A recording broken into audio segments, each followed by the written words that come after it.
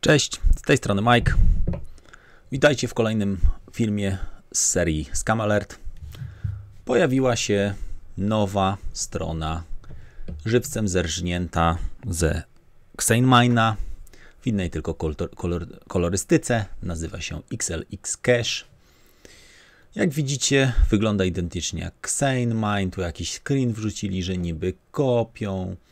Super, super, super. Wszystko pięknie, ładnie. Statystyki strony, oczojebne kolory.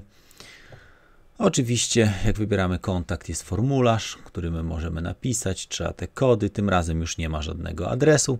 Strona działa, jest jakiś najczęściej zadawane pytania. To jest żywcem zerżnięte z Xenemina. Nawet tutaj nie potrafili sformatować tekstu. Jest jedna zasadnicza różnica, a mianowicie jak chcecie się zalogować, to od Was chce dane Google, od Waszego konta. Krótko mówiąc, zaloguj się przez konto Google. I ja w tym momencie stwierdziłem, że pocałuj ta w dupę wójta. Nie ma takiej możliwości. Ostrzegam Was, to są skamerzy. Będziecie, jeżeli już chcecie się zarejestrować, poświęcić dane konta Google, to zróbcie to.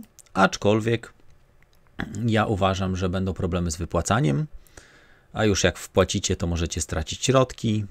E, wiecie doskonale, co Xenemine robi, jakie jest moje zdanie o tym projekcie. Ja próbuję wyciągnąć, kolega próbuje od 10 dni Dodge'a wypłacić i cały czas jest, że kupujemy Dodge. Ja mówię, to, to, to za kopalnia, która kupuje waluty.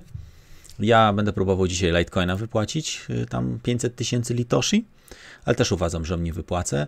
To jest dokładnie to samo. Ten sam schemat, ten sam, ten sam model, także ostrzegam Was przed tym.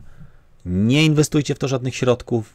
Jeżeli chcecie się zalogować, śmiało, być może nie stracicie danych, e, nikt nie będzie Wam się próbował na konto Google włamać, a jeżeli już, to pamiętajcie, żeby Wasze konto Google było dobrym, dobrym hasłem zabezpieczone, najlepiej, żeby był podpięty numer komórki, żeby wszelkie zmiany na koncie logowania musiały być autoryzowane przez, przez telefon komórkowy, to Wam zapewni jakieś tam bezpieczeństwo.